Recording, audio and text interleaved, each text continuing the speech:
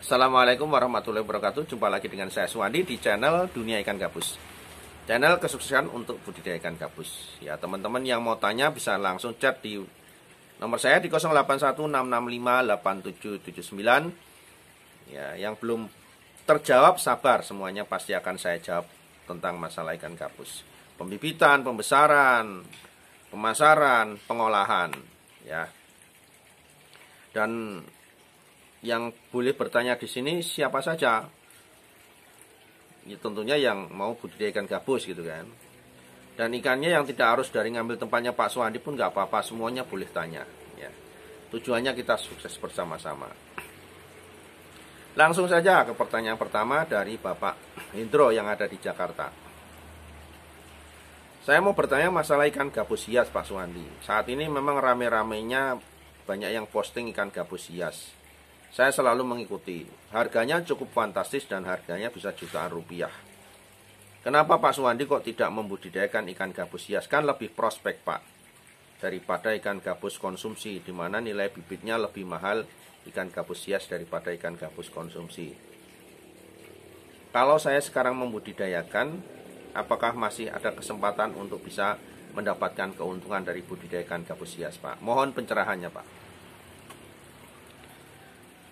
Uh, alasannya kenapa ya? Saya dulu pernah memang membudidayakan ikan gabus hias ya sebelum ya sebelum gabus bahkan bersamaan dengan ikan gabus ini saya sudah budidayakan gabus hias.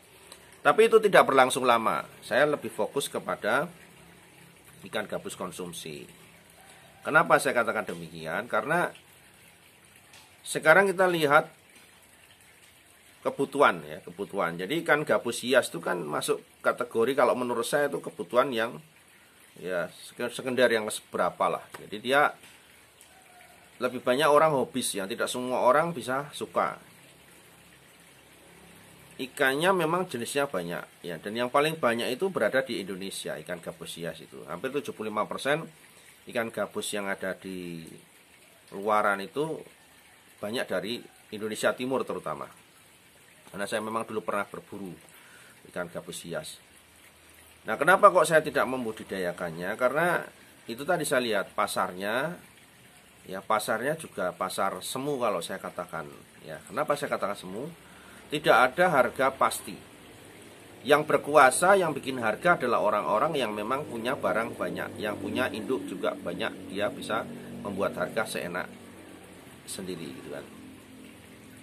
Contoh misalkan, sekarang ikan gabus ukuran 5 cm, carolah saya nggak perlu nyebut jenisnya apa ya, bisa sampai 1 juta misalnya. Albino putih mata merah 1 juta. Logikanya sampai di mana coba? Ya. Jadi pertama saja kita lihat dari harga sudah tidak masuk akal. Taruhlah dengan embel-embel bilang ini impor ikannya impor, barangnya terbatas.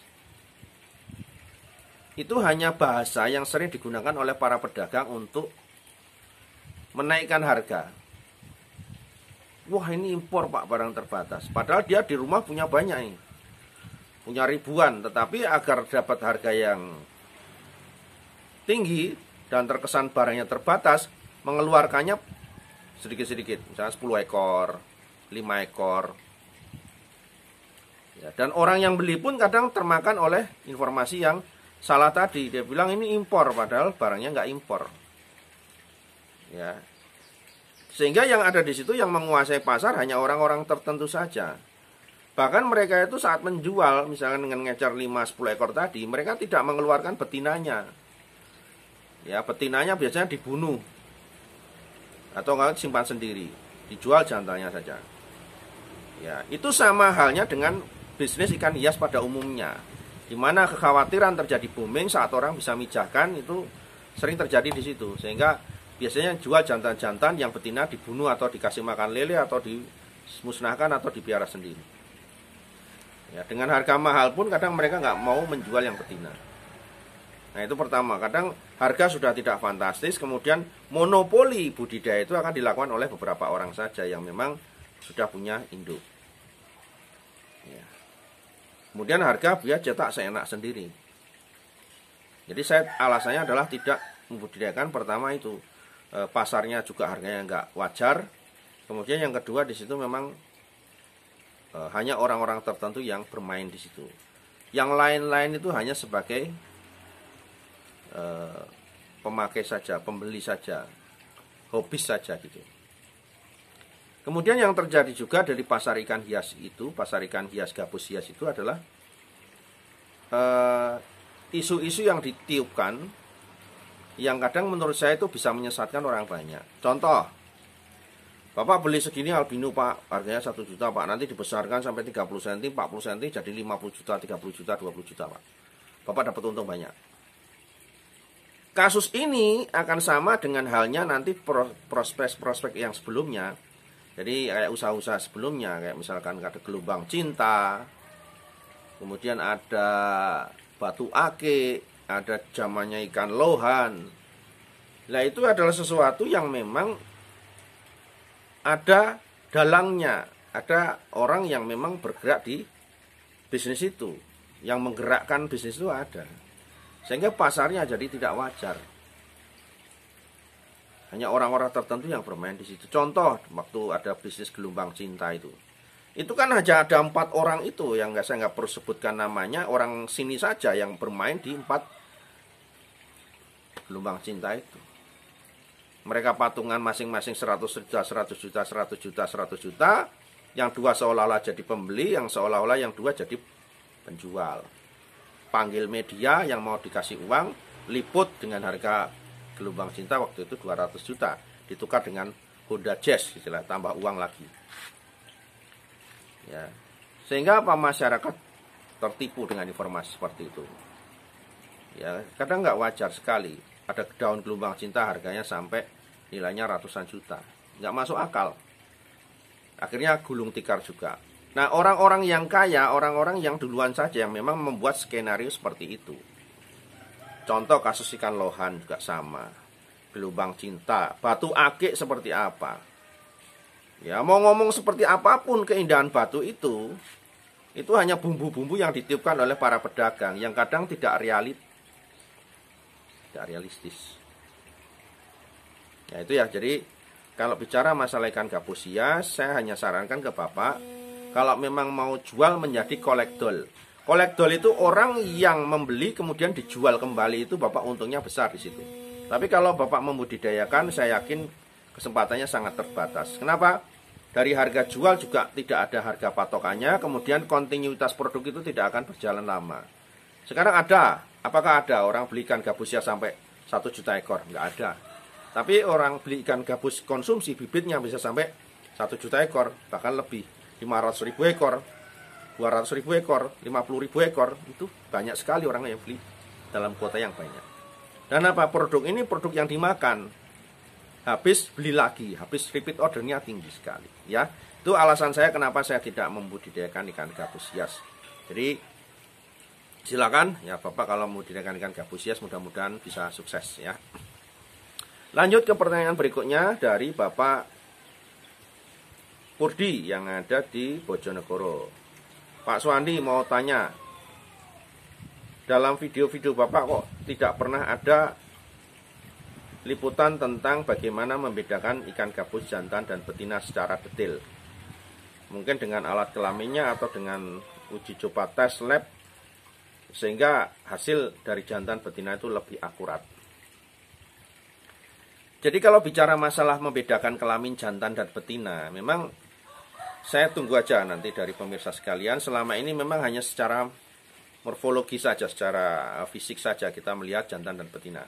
Saya akan bikinkan video yang lebih detail lagi ya tentang bagaimana membedakan jantan dan betina secara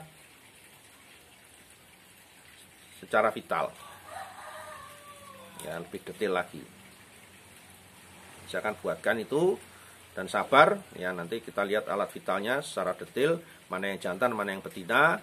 Sehingga apa? Memang secara fisik jantan dan betina itu kadang hampir sama. Buat orang-orang yang baru mulai kadang bingung. Ya hanya orang-orang tertentu saja yang bisa membedakan pastinya jantan dan betina itu. Dan ini belum pernah ada di uh, ulasan-ulasan di mana pun bahkan di dunia sekalipun belum ada yang pernah mengulas apa yang akan saya sampaikan ini ya tidak melihat dari sisi morfologi saja secara fisik tetapi lebih melihat secara kelamin. Itu akan lebih akurat sekali ya. Tunggu saja videonya nanti pasti saya akan uh, tunjukkan semuanya. Pasti ini akan lebih enak ya. Dan kita oh ini jantan oh ini betina sudah muda karena kita lihat dari kelaminnya. Ya mana kalau kelaminnya hanya dengan kasat mata saja kadang orang bingung nggak bisa lihat ya. Sabar saya akan tunjukkan di episode berikutnya ya kemudian pertanyaan berikutnya dari Bapak Sugito. Ini yang ada di Blitar. Salam sukses Pak Suwandi. Saya selalu mengikuti channel YouTube-nya Pak Suwandi. Dan sampai hari ini saya sudah bisa membudidayakan ikan gabus pemijahan yang saya dapatkan dari tangkapan alam. Sudah ada dua induk yang bertelur. Terima kasih Pak Suwandi atas tutorial dan ilmu budidaya yang ada di channel Dunia Ikan Gabus. Saat ini saya baru mengembangkan kolam pembesaran untuk benih yang saya hasilkan. Apakah saya bisa bermitra kepada Pak Suwandi? Walaupun bibitnya tidak mengambil dari tempatnya Pak Suwandi. Terima kasih penjelasannya Pak Suwandi. Jadi di sini sistem mitra yang kita terapkan di sini adalah eh, Bapak mengambil benih dari sini, kemudian nanti dibesarkan, kemudian nanti baru dijual lagi kembali ke sini. Jadi kemitraan yang diterapkan oleh perusahaan sini itu seperti itu aturannya. Kalau misalkan Bapak mengambil benih dari alam, ya atau mengambil induk dari alam, kemudian Bapak berhasil e, membreedingkan, membudidayakan, itu sifatnya bebas saja, tidak ada ikatan apa-apa. Yang jelas kalau misalkan nanti kita membutuhkan ikan, ya seperti Bapak ini adalah e, orang yang bisa kita hubungi apabila nanti kita mengalami kekurangan stok ikan. Jadi kita bisa bekerja sama tidak menjadi mitra. Bapak juga boleh berkonsultasi kepada kami, tapi di situ kita tidak ada hubungan kemitraan dari sisi masalah penjualan ya. Seperti itu Pak ya. Oke, teman-teman semua yang bisa saya jawab hari ini seperti itu. Sukses untuk teman-teman semua dan hari ini ya semoga ikan gabus yang teman-teman budidayakan bisa sukses, bisa berhasil. Ya. Sampai ketemu lagi dengan saya Suwandi di episode berikutnya. Assalamualaikum warahmatullahi wabarakatuh.